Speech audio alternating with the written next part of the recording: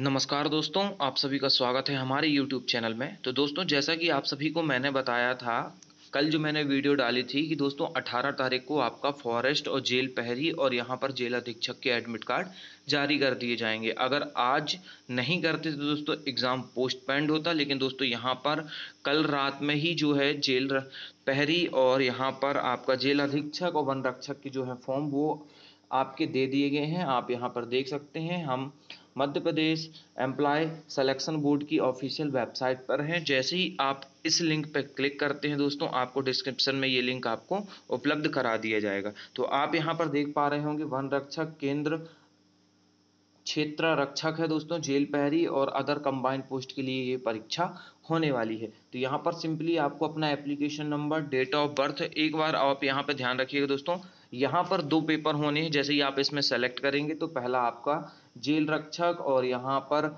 One रक्षक और दूसरा आपका कौन सा है दोस्तों? जेल अधीक्षक वाला पेपर होना है। तो जिन्होंने दोनों भरे हैं दोस्तों तो एक एक करके दोनों चेक कर लेंगे, क्योंकि डेट अलग अलग होगी, क्योंकि ये जो एग्ज़ाम है अलग अलग भी होने वाले हैं। यहाँ पर यानी कि दो पेपर होंगे आपके। अगर आपने दोनों पोस्ट भरी है तो आप दोनों एक बार आप पहले जेल पहरी और वन रक्षक, केंद्र रक्षक जो है क्षेत्र रक्षक वो चेक कर लें किस तारीख को है और दूसरा आप यहाँ पर जेल अधीक्षक वाला चेक कर लें कि आपको ये किस तारीख को है। इस तरह से आपको दोनों चेक करना है। जैसे आपको दोस्तों अगर जेल अधीक्षक चेक करना है तो आपको सिंपली इसमें कर, क्लिक करना है और आपको एप्लीकेशन नंबर दोनों का सेम रहने वाला है उसमें अलग नहीं रहेगा लेकिन आपको यहाँ पर विषय का चुनाव जो है अलग अलग करना पड़ेगा। तो कुछ इस तरह से आप यहाँ पर एडमिट कार्ड अपना चेक कर सकते हैं। सात दिन पहले आपको दोस्तों एग्ज़ाम सिटी पता चलेगी और तीन दिन पहले आपको यहाँ पर सेंटर पता चला पता चलेगा। तो दोस्तों चैनल पर अगर पहली बार है सब्सक्राइब ज़रूर करें और वीडियो को लाइक ज़रूर करें।